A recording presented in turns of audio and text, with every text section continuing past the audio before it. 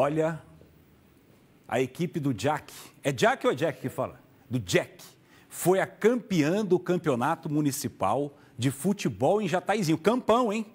11 cada lado. Partida disputada no estádio municipal Stricker. O Dionísio Stricker lá de Jataizinho.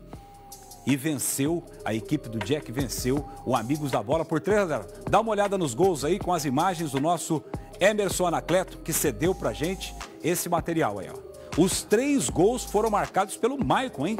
Maicon já foi jogador profissional ali, mostrou toda a sua categoria que você está vendo aí nas imagens. Olha cada golaço que ele fez aí, ó. Meteu três nas redes lá. Aliás, eu quero parabenizar o pessoal de Jataizinho, hein? Olha que bacana, que festa bonita. Daqui a pouco você vai ver aí o vídeo da comemoração, aí mais um gol, né?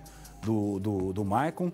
Um abraço lá pro, pro Anacleto, para toda a equipe que faz é, que participa também, os organizadores desse campeonato aí, que está aparecendo aqui no nosso Primeira Hora no quadro Peladeiros, tá legal? Teve uma festa bacana no final, o pessoal comemorou com a taça, bacana mesmo, lá tem arquibancada, o pessoal, as famílias, olha a festa, ó, que bacana. Parabéns aí ao Jack, campeão, com três gols do Michael. E se você também tem aí imagens do campeonato que você participa, das peladas de fim de semana? Mande para cá.